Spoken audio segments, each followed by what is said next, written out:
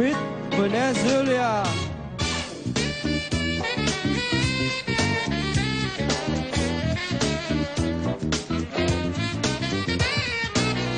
Thưa quý vị, quả như chúng tôi có chia sẻ đến quý vị là ở mỗi một phần thi thì các người đẹp mang đến cho chúng ta những vẻ đẹp rất khác nhau. Nếu như đã phần thi áo dài đó là vẻ đẹp của sự nền nã duyên dáng, thì ở phần thi trang phục dạ hội, các người đẹp mang đến những nét độc đáo riêng trong trang phục dạ hội của quê hương mình. Và chúng ta đang cùng theo dõi phần dự thi của người đẹp đến từ đất nước Venezuela.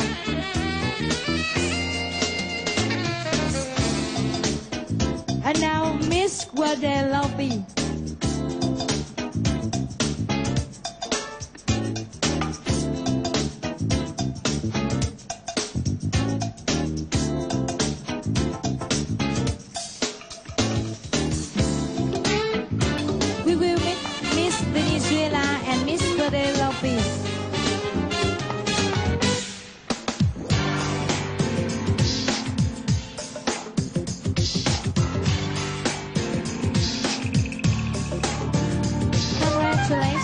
Thái Lan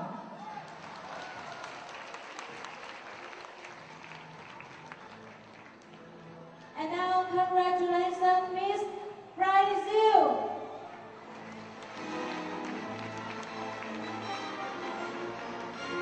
Continually, congratulations, Miss Hong Kong, Venezuela.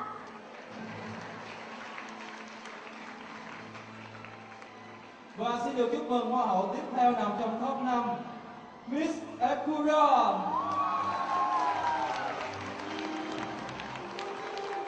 And the last person in top five. Congratulations, Miss Kamran Says Republic.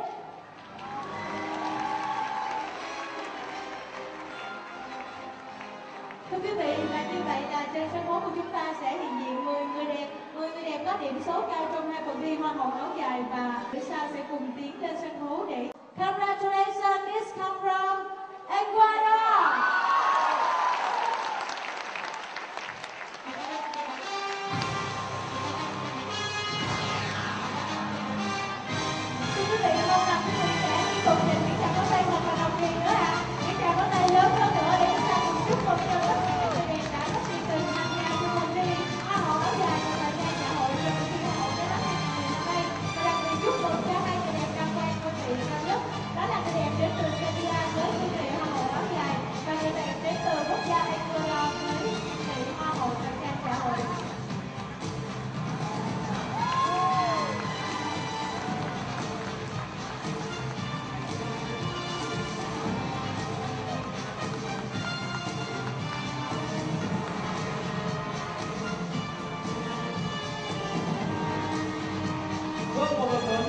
dành một tràng pháo tay thật lớn để chúc mừng cho Miss Ecuador đã giành được ngôi vị cao nhất trong vòng thi ca một nhà hội nằm trong khuôn khổ cuộc thi hoa hậu